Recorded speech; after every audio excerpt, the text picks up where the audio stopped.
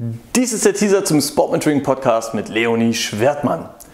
Welches Geräusch oder welche Melodie repräsentiert dein Leben? Von Ludovico Einaudi, Nuvole Bianche. Ähm, ich stehe auf klassische Musik und die bringt mich einfach immer runter.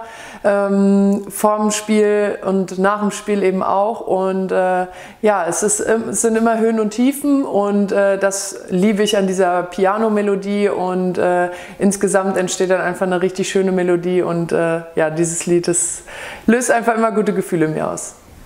Vielen lieben Dank.